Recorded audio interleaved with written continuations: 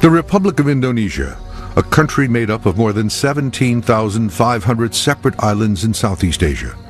A diverse and dangerous place of active volcanoes, dense rainforests, tigers, poisonous snakes, and rhinos. But there may be something else hiding here. A creature that locals have reported for centuries, and scientists are only now examining.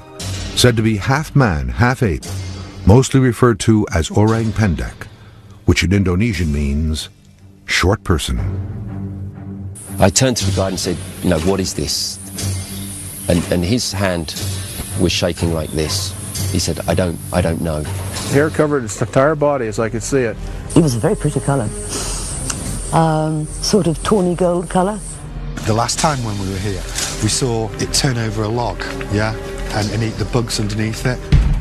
Described as about three feet tall, reddish in color, with a slender orangutan-like body, the orang pendek is always seen walking on two feet with an erect posture, and most disturbing, it has a human-looking face, a description that fits a real being. In 2004, scientists revealed that they had found partial skeletons of a very small species of human that grew no larger than a three-year-old child of average height.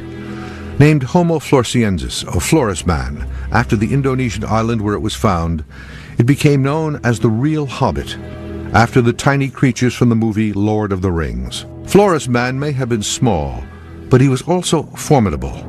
Stone tools and fossilized remains of elephants and Komodo dragons were also found at the dig site, suggesting Flores was a skilled hunter.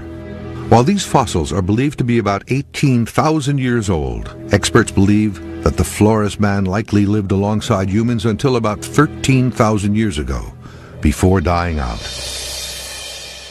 The question is, is there a link between Flores man, the real hobbit, and recent sightings of the orang pendek? The possibility certainly exists and, and, and should be considered that orang pendek and Homo floresiensis are one and the same. Jeff Meldrum is a paleoanthropologist at Idaho State University. Homo floresiensis may lie at the root of the stories of the small people of the forest, the orang pendek. Maybe this is a, a different species altogether. But where is the evidence? This Monster Quest expedition travels to the island of Sumatra, only 1,400 miles from Flores, where the Homo floresiensis fossils were discovered, and where locals claim to still see the orang pendek. Two veteran orang pendek researchers will lead a search into a remote jungle. It is here that they will deploy an array of high-tech camera systems, pheromone chips, and professional trackers. Go down the bank, yeah, look for footprints, yeah. However, everybody here is aware of the story. There's nothing else that could be mistaken for. That's why, that's why it's so interesting. That's why I keep coming back. A decade before the Flores man's skeleton was found, another researcher was investigating the orang pendek. I knew the national park rather well. I'd been here since 1994. Debbie Martyr, a former journalist, was one of the first to examine the mystery. It started off looking, uh, trying to validate an animal that was here, an animal called orang pendek. In 1994, in the Kerinci National Park in Sumatra, Debbie Martyr claims she spotted the orang pendek.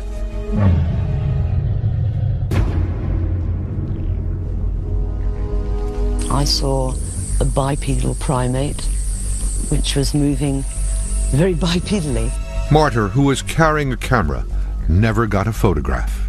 Once the animal had gone and once I'd stopped swearing quite dreadfully because I hadn't taken a photograph, bang went the front cover of Time magazine. She never got a good look at the creature's face, but from what she did see, it was not like any animal she had seen. Martyr claims it looked a little like an orangutan, but different. Very, very broad shoulders. So that the small, the head was very small in relation to the, the breadth of the shoulder. Orangutans do live in Sumatra, and skeptics say it is most likely the animal eyewitnesses are really seeing. But Martyr disagrees. It was like seeing something from the wrong side of time. The word orangutan is derived from the Malay and Indonesian words meaning man of the forest. Adults stand between four and five and a half feet tall and have reddish hair. But there is a problem with the orangutan theory. Officially, orangutans have never been spotted in this part of Sumatra. New researchers have continued the hunt. Jeremy Holden is a professional wildlife photographer who has caught images of rare animals like the Sumatran tiger and Asian elephant. I photographed many, many species that have never been photographed before. Many, many things. Probably something like 60 or 70 species now, including birds. Holden has teamed up with experienced tracker Adam Davies in this Monster Quest expedition. If ever you were sort of having a fantasy island moment and you wanted a monster to hide, I always thought this would just be the place. The team is deep within the epicenter of the sightings in the remote Kerinci Seblat National Park. This park is where Debbie Martyr saw the orang pendek and where locals continue to see the creature.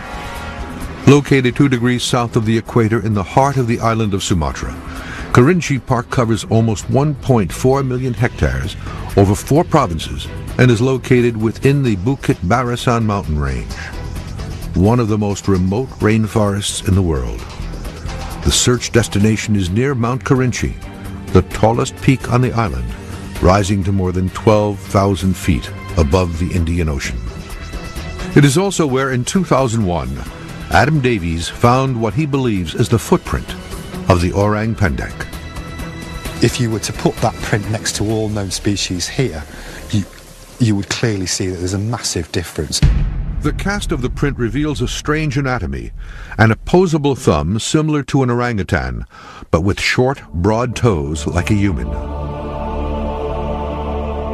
Davies sent a copy of the print cast to Dr. Jeff Meldrum for examination. These uh, pads are impressively stout, suggesting that maybe this is a, a different species altogether that has adaptations to walking on the ground.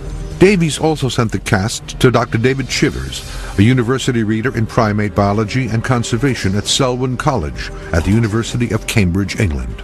So these footprints were very exciting, very unusual, uh, because they were uh, mixed characters from all the different apes and humans.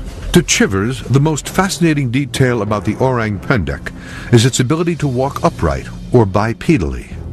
There is only one other primate in the world that walks like this humans. They've got the toes that are shorter, more like human. The heel is like nothing in that it's curved. We call it banana foot, kaki pisang. The print Davies cast in 2001 seems to support the orang pendek descriptions. The short, broad toes would be better for walking bipedally rather than grasping limbs like the mostly tree-bound orangutan. However, skeptics say the print could be from a deformed or mutilated orangutan.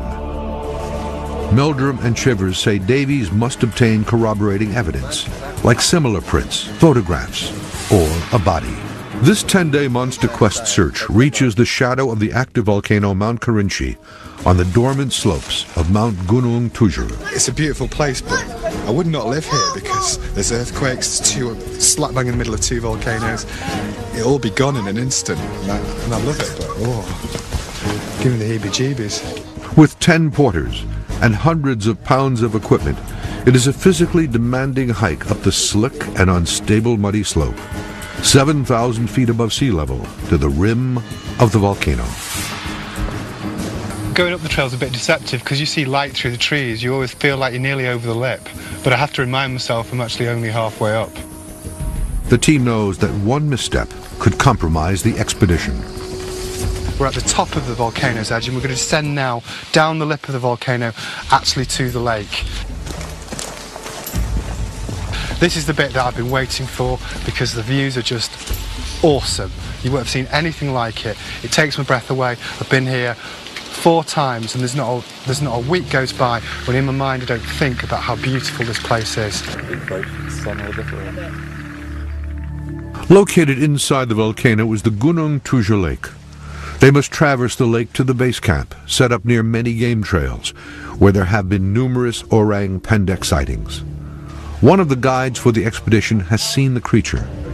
Holden translates his story. Yeah, so what he's saying, it, was, it wasn't much taller than a metre, but again, he's talking about this big, big body. It was covered in, in um, greyish, yellowish hair. It was walking on two legs, not four. When they saw it, it did this, put its arms up. Which is a, like a classic ape defense to make itself look much, much bigger. And I've heard this story many, many times from many, many people. And when it was walking there, again on two legs, but it was reaching for branches as it was as it was travelling. The guide also found prints.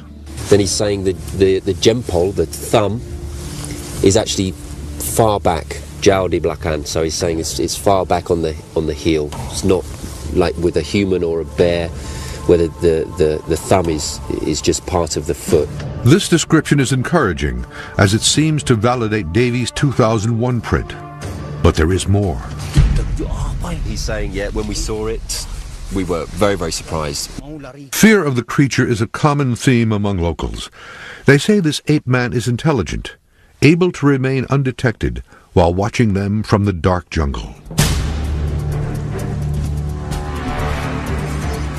Davies and Holden are now just an hour away from their final destination.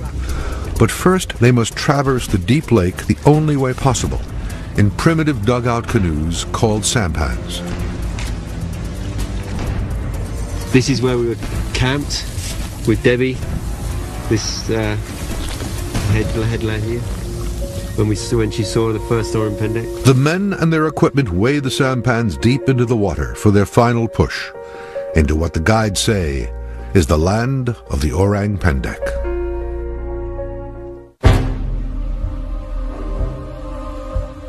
Southeast Asia may have a monster. The Orang Pendek is said to be a race of mystery apes that lurk deep in the jungle. More than 30 years before the discovery of a strange skull, a similar creature was seen by unlikely visitors, American GIs. I flew the Hueys. We had the uh, UH-1H models. Larry Wilson is a retired Army helicopter pilot. In July of 1970, Wilson was sent to Vietnam, assigned to the Air Cavalry.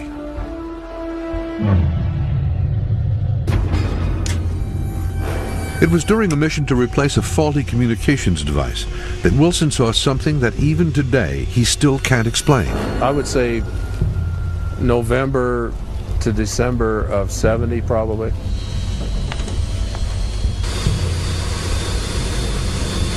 It was kind of crazy. It was early in the morning. We took off real early because we knew we had to go out quite a ways.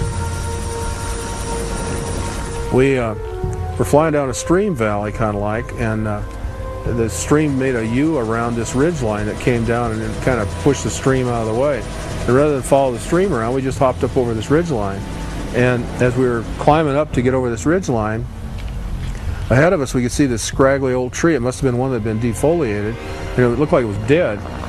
And we saw the thing wiggling at first, and then we saw what it was that was wiggling. It was this like ape-like creature, but it looked like a man. We thought at first it was a bad guy. We almost killed it.